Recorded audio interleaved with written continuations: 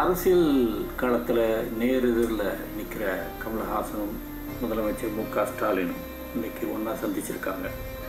கமல் முதலமைச்சர் அலுவலகத்துக்கே போய் அவரை நேரடியாக சந்திச்சிருக்காரு. இது அரசியல் வட்டாரத்திலையும் திரை வட்டாரத்திலையும் பூர்வங்களை உயர்த்தியிருக்கு. ஆனால் இதில் ஆச்சரியப்பட ஒன்றும் இல்லை அப்படின்னு தான் எங்களுக்கு தோணுது. ஏன் அப்படின்னா உதயநிதி ஸ்டாலின் தான் அதுக்கு மிக முக்கியமான காரணம்.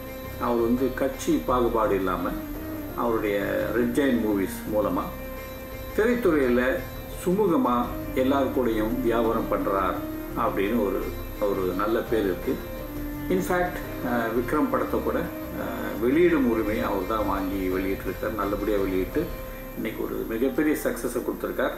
இன்ஃபேக்ட் படம் வெளியாவதற்கு ஒரு சில தினங்களுக்கு முன்னாடி படம் ரொம்ப நல்லா வந்திருக்கும் ஒரு ட்வீட் பண்ணியிருந்தார். அதை கமலஹாசனும் நன்றி தெரிவித்து ஒரு பதில் ட்வீட் போட்டிருந்தார்.